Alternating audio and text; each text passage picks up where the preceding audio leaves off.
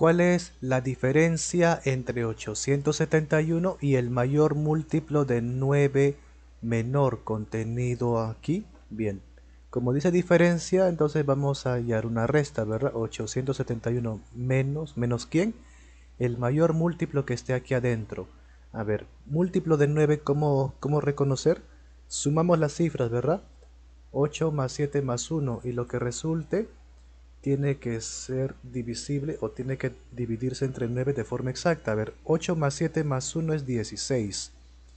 Bien, 16 entre 9 no es división exacta. Entonces tenemos que restar. A ver, ¿cómo haríamos? ¿Qué le quitaríamos o qué le restaríamos a este número para que se pueda dividir entre 9? Bien, entonces como ya sabemos cuáles las reglas, hacemos eso. 8 más 7 más 1, ¿verdad? La suma. ¿Cuánto sale? 8 más 7, 15, 16. Ya está.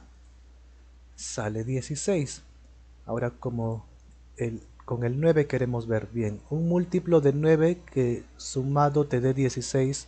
Múltiplos de 9 son el 0, el 9, el 18, etcétera, así de 9 en 9, pero que se le acerque a 16 sería el 9, ¿verdad? Porque 18 se pasaría 9 más cuánto te da 16?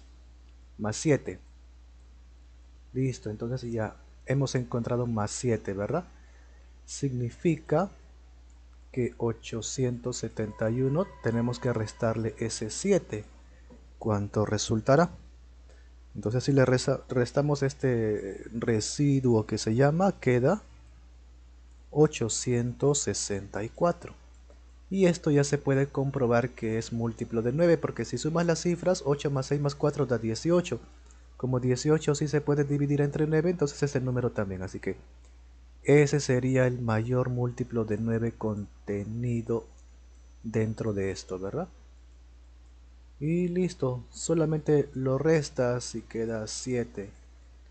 Listo, en realidad ni siquiera era necesario restar, era suficiente que te quedes con esto que era el residuo y ahí está incluido el número, ¿de acuerdo?